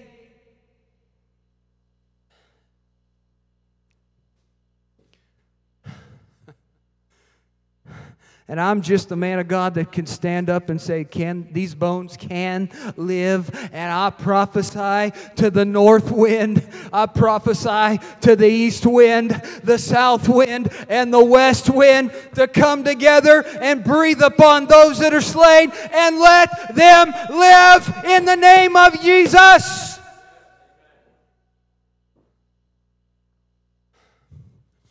Let marriages be put back together and live.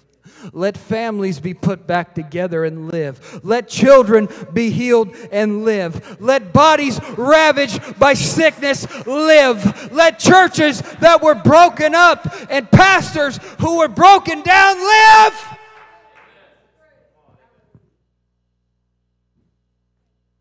And breathe upon that which the enemy had left for dead.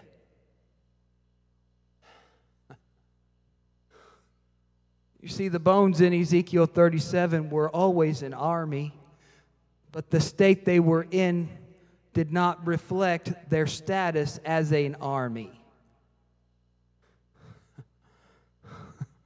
they had been in a valley and in a battle.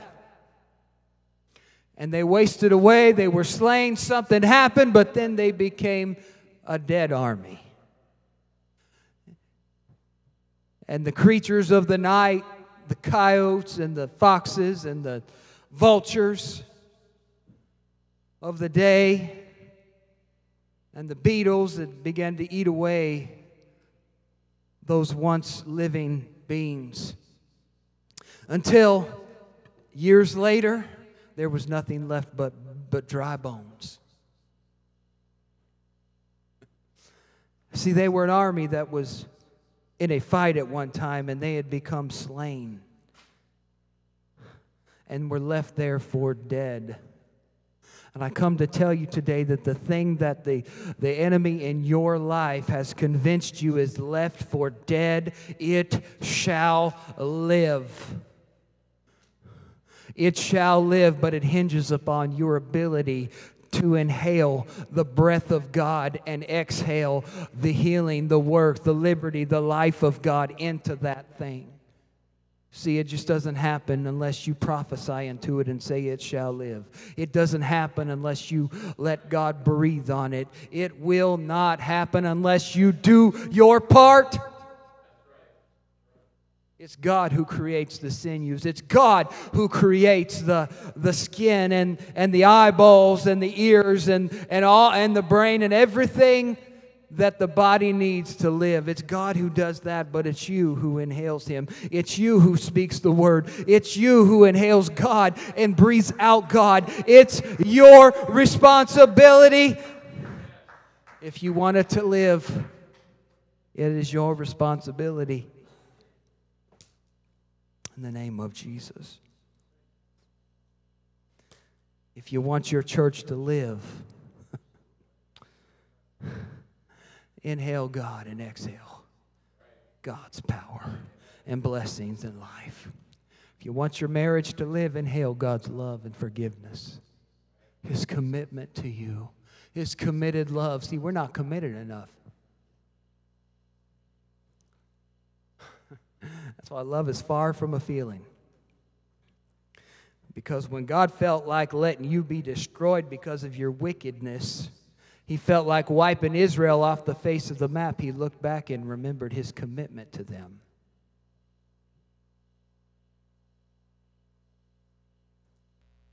Hallelujah.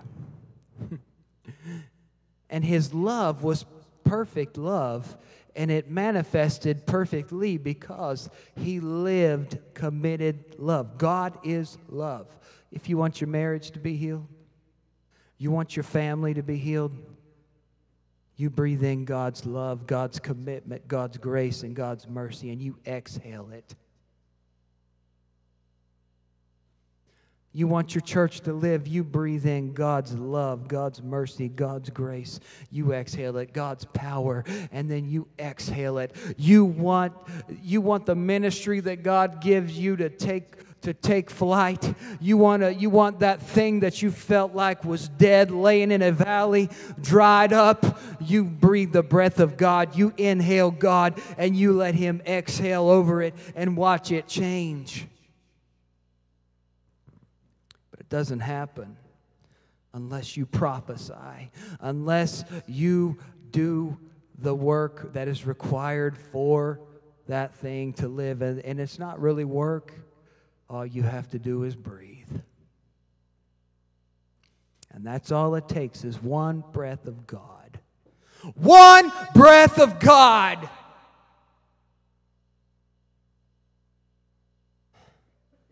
And you will never be the same again.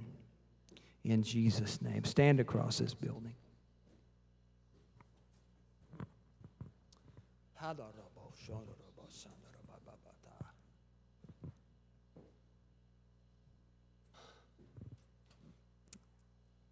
There is hope for a tree if it has roots. If it's just a stump but it has roots, there's hope for it.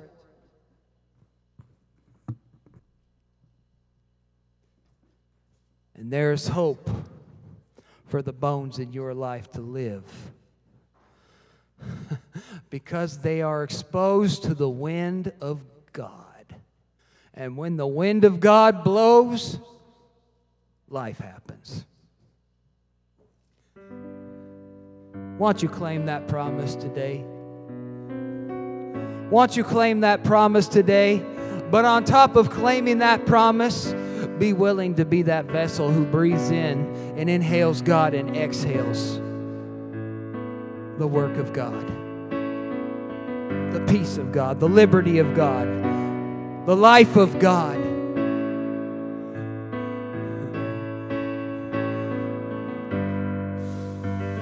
Inhale, exhale. It's autonomous. It's a natural cycle. It's a natural cycle. In Jesus' name.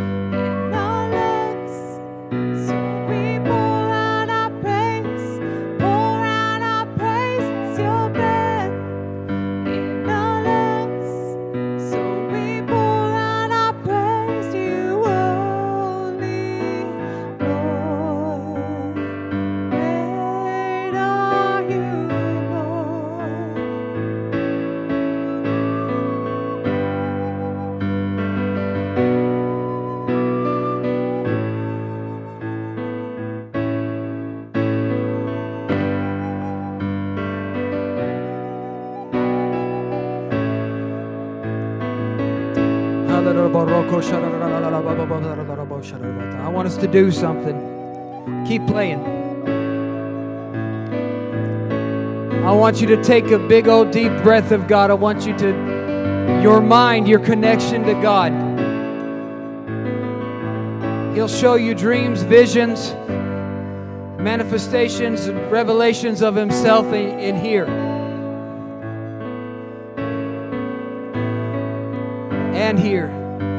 I want you to take in a big breath. I want you to dedicate this breath to the Lord.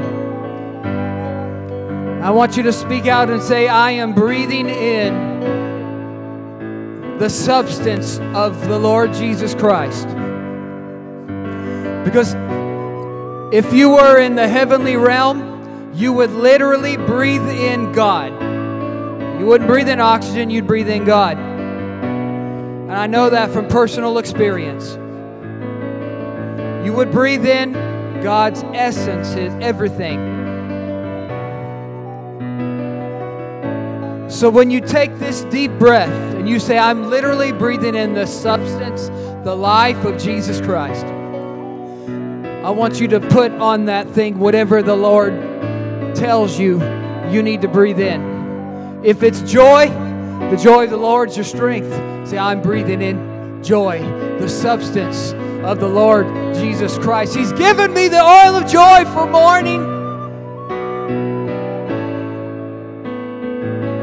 If you want to if you want to praise him I'm breathing in the substance of the Lord Jesus Christ the garment of praise for the spirit of heaviness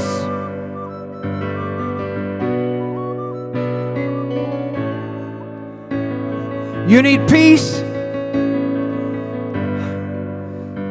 Those who have peace are those who have their mind stayed on Him. There's a constant, consistent breathing in that allows the mind to be transformed and stayed on Him and the peace of God. Breathe it in.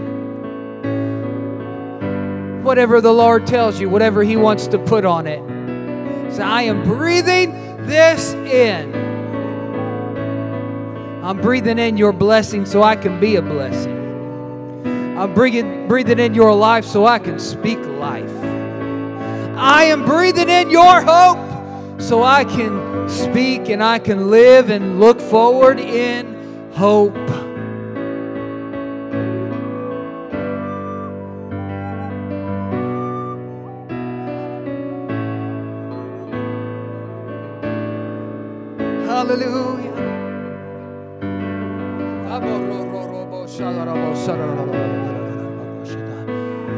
Breathe, oh breath of God, in this place.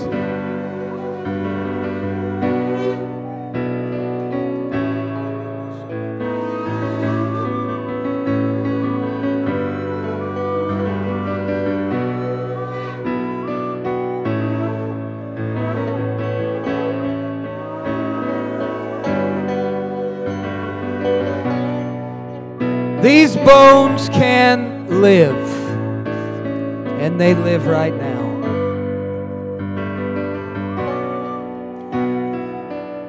Everywhere the river flows, there's life, and everywhere the wind blows, it pulls up the water and brings the rain. Thank you, Jesus.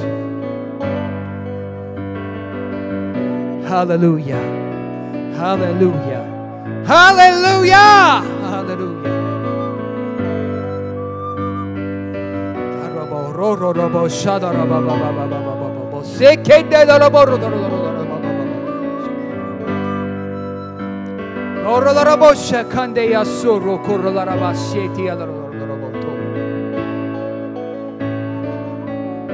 I speak life to those churches who've fallen by the wayside.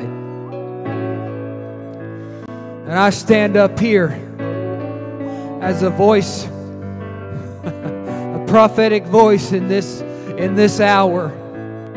I speak life to those places, life into those bones, life into that which was dead, a committed love into that which knew not committed love, and healing to those vessels. In the name of Jesus Christ. I speak life into the music of this church, into the worship of this church, the praises in this church. I speak the life and the breath of God.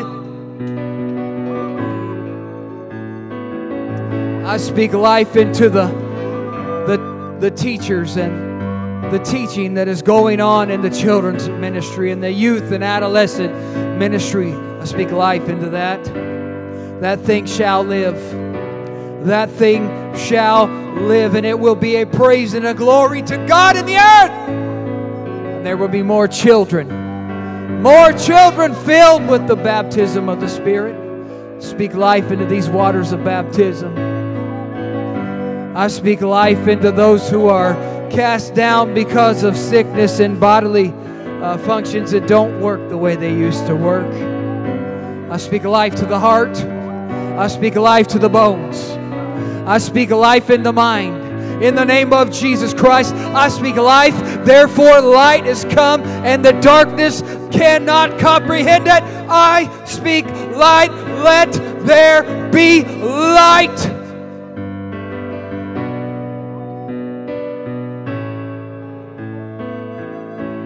The name of Jesus Christ.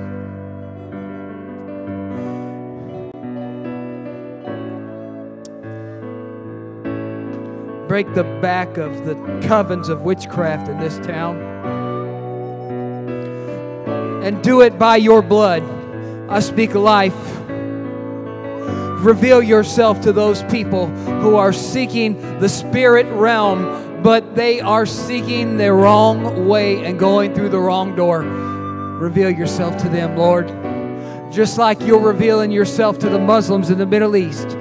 And you're appearing to them and showing them that you love them and there's revival going on. Do that, Lord. And those who have put their hand to do witchcraft and forgive them of their sins.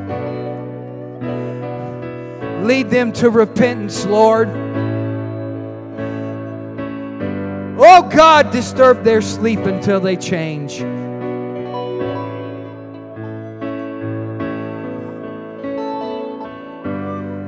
And every child that is a victim of, of trafficking in any form or fashion, speak life to them. And to their captors, you have to release the children. You must release the children in the name of the Lord Jesus Christ. Come on, church, repeat that after me. You must release the children in the name of the Lord Jesus Christ.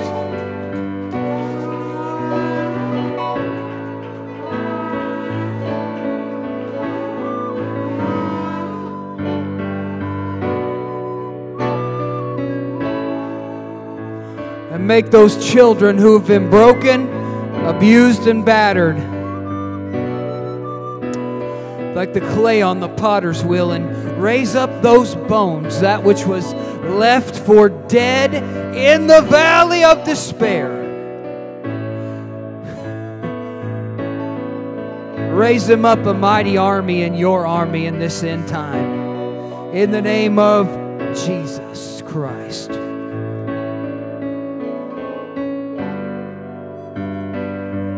Raise them up, Lord. Yahweh, raise them up. Raise up politicians that will follow the principles of the Word of God and they will be endued with power from on high, and the Spirit of God will rest on them, and they will walk and they will make laws and they will govern righteously. Raise up Josephs and Cyruses Josiah's and Solomon's before his heart was turned. And David's, Lord. Raise up the Boazes that are willing to wait on the Lord until God's promise comes. Hallelujah. And make them wealthy and make them wise. Wisdom above wealth, but the wisdom to gain wealth.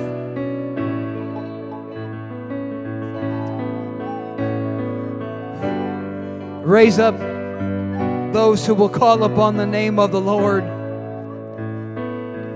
who are willing to bring the firstlings of their fruit. Raise up the Seths and the Abels who will call upon the Lord. Raise up the Noahs who will find grace in the eyes of the Lord. Raise up Abrahams that are God's friend. Raise up Elishas who have the double portion. Raise up kings and priests, prophets and evangelists, pastors and teachers, Peters and Pauls and Timothys and Johns and Polycarps. And those who will stand up against religious tradition like Martin Luther. Those who will be open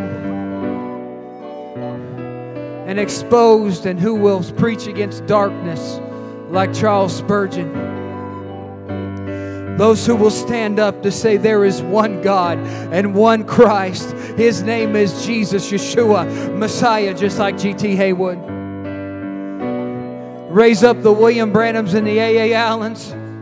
Raise up the John G. Lakes that were willing to walk in plague infested areas and bring the healing and the life of God, and that dead thing could not touch them. In the name of Jesus Christ. Raise up the beloved physicians. Hallelujah.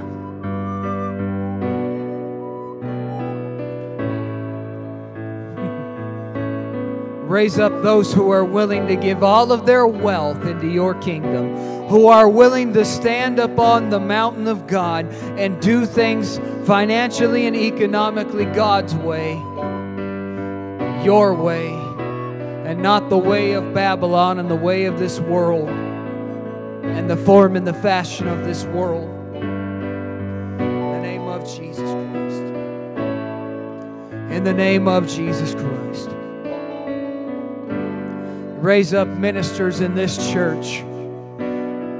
Lord, let us not be the same when we walk away from this place, but as we breathe you in, oh God, breathe out of us and exhale everything that you have given us into the earth and into the people around us and into our families and into the atmosphere. In the name of Jesus. Hallelujah. Hallelujah. Let these things be done according to the will and the way of the Lord in Yeshua's name. Amen. Yeshua HaMashiach's name. Amen in heaven and amen in the earth. That which is in heaven manifest in this earth.